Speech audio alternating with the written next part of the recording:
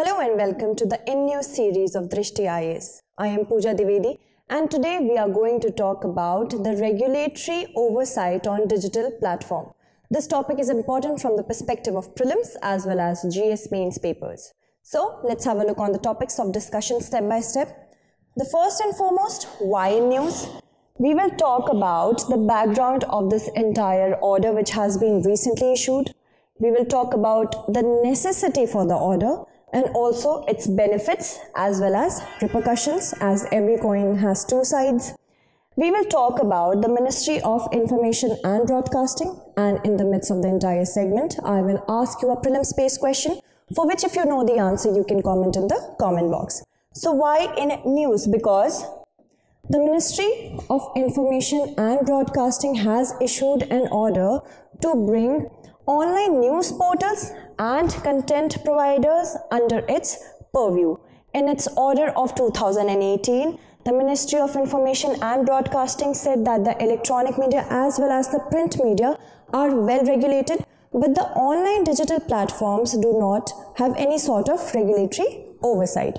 So, it also said that telecast of television channels is administered by the terms of program and advertisement codes under the Cable Television Network Rules of 1994 and 1995, whereas the autonomous body of Press Council of India is regulatory. The print media, if we talk about the Press Council of India, it was established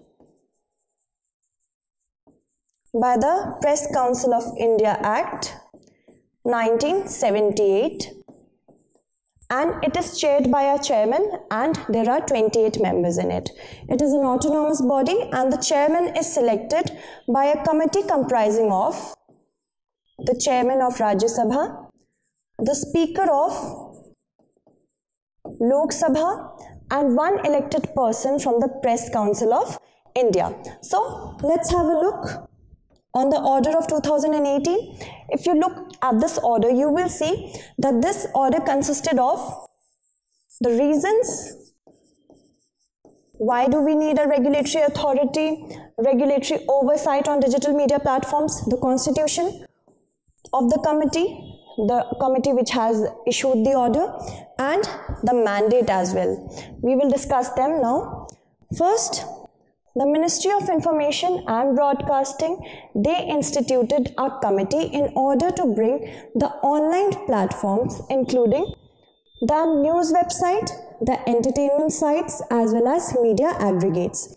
This committee has been instituted by 10 members belonging of the rank of Secretaries of Department of Home, Legal Affairs, Electronic and Information and Technology, and industrial policy and promotion.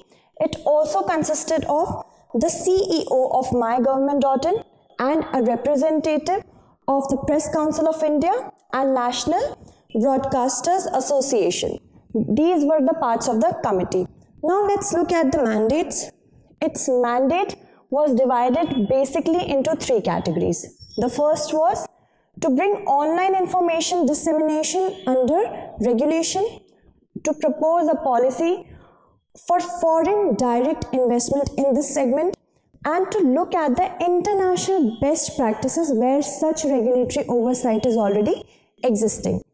Last year, the Information and Broadcasting Minister Prakash Javadekar said that they do not want to curb the freedom of the press, but there should be a regulatory oversight of the OTT or over the top platforms as it exists for the electronic as well as print media.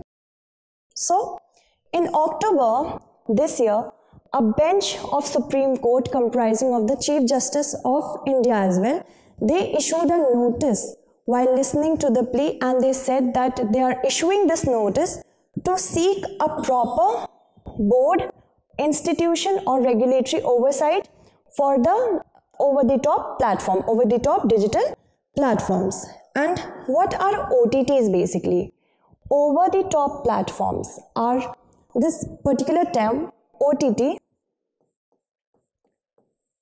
is used to refer to the provision of content via internet by bypassing conventional cable operators. So there are certain in India, like Netflix is there, Amazon Prime is there, ZEE5, Disney Hotstar.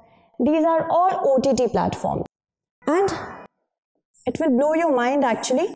In the year 2012, there were only two OTT platforms, but if we talk about 2020, there is a staggering number of 30 OTT platforms working in India. Now, it is being said that by the year 2022, the number of viewers for the OTT platform will go beyond 500 million, which is a very big deal. Also, the OTT platforms every year are progressing at a rate of 22% for the next four years and it will reach a business for 12,000 crore rupees. So this is the amount. An individual Indian spends on an average 70 minutes per day to grasp the content from OTT platforms. Only 64 percent of the entire grasped content is in Hindi while others are in English or some regional language. So in July 2020, the Information and Broadcasting Ministry had said that they proposed to bring the OTT platform under the purview of the Ministry of Information and Broadcasting.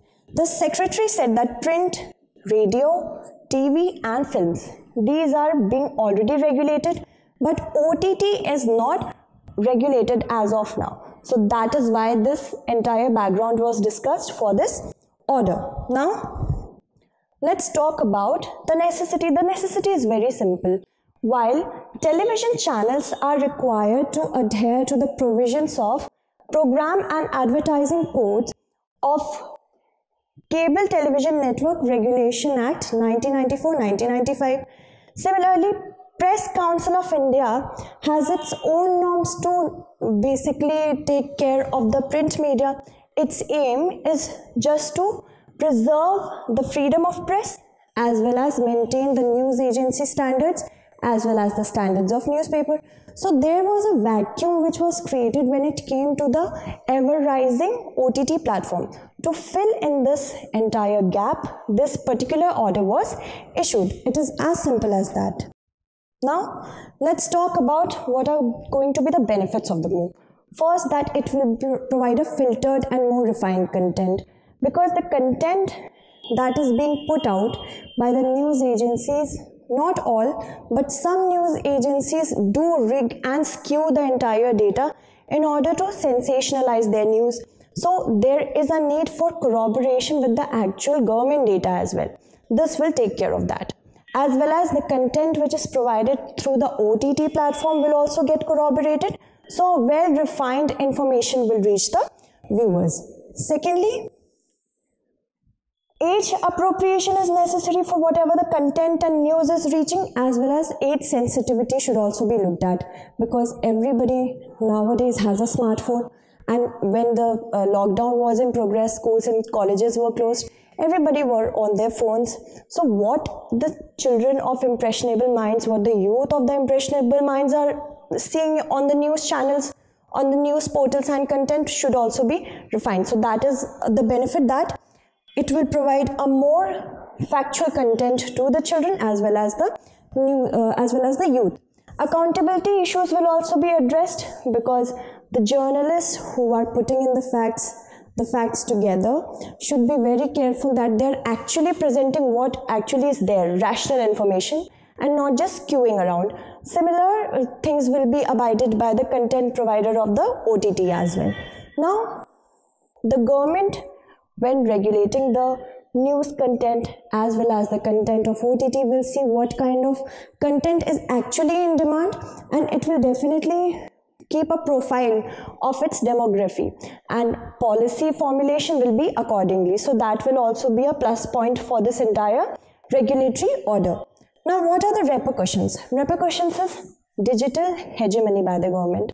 First the reference to digital broadcasting it suggests that the government is trying to formulate a policy that will allow to subject news and current affairs which moves via YouTube or WhatsApp or Facebook to abide by the same rules and regulation as the conventional media. And it will be a curb on the freedom of expression if it is unbalanced and if it is encroaching in nature then of course freedom of expression will be curbed and it will kill and demoralize the content providers the creators and also truthful and fierce journalism will be negatively impacted. Next it will hinder the flow of information. Sometimes information factual information need to reach the public. But if regulations will be heavy then actual information would not be reaching the, con- uh, the content viewers and in the name of public preservation of public law and order this information and flow of information could be hindered. Overriding rules. How? Because the overarching policy formulation under the IT Act the digital media is subjected to the same rules and regulation more or less as the conventional media such as such as civil and criminal, uh, criminal defamation provisions which are provided under the IPC and other similar provisions which uh, administer the conventional media also goes for online media as well. So there are multiple rules and regulation. The next will be democratic challenges. Every person nowadays is acting as a media. If you post your photo on online mode or if you post any kind of information, you are a media yourself. So it will be very hard for the Information and Broadcasting Ministry to regulate the entire fiasco. And it will be specially a curb on the freedom of expression which is enshrined in the article 19 of the constitution. So it's interesting to see how will the ib ministry regulate all this. Now let's talk about the ministry of information and broadcasting. The ministry of information and broadcasting is a ministerial level agency of government of India. Can you please tell me in the comment section at the time of independence who was holding this portfolio of Ministry of Information and Broadcasting? It is responsible for the formulation and administration of rules and regulation in the areas of information, broadcasting and cinema as well, cinema of India as well. The ministry is responsible for the administration of Prasar Bharati, which is the broadcasting arm of India. The Central Board of Film Certification is a statutory body working under the purview of Information and Broadcasting Ministry and is responsible for the regulation of motion pictures in India. So these rules and regulations should definitely be balanced and they should not prove to be a curb on the freedom of expression. I hope you found this segment informative. That's it for today. Tomorrow I'm going to turn up with another segment. Until then, stay updated and thank you so much for watching.